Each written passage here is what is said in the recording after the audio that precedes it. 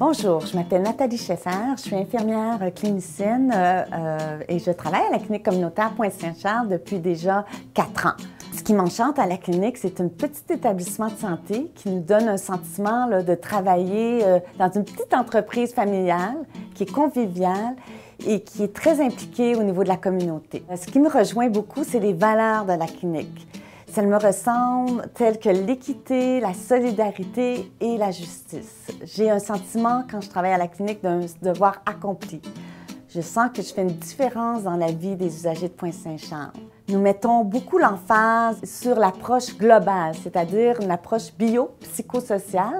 Nous avons beaucoup d'autonomie en tant qu'infirmière, clinicienne. Euh, ce que j'aime, c'est qu'on a beaucoup d'ordonnances collectives. Les gestionnaires nous encouragent également à développer un leadership, à mettre à jour nos connaissances en offrant des formations continues.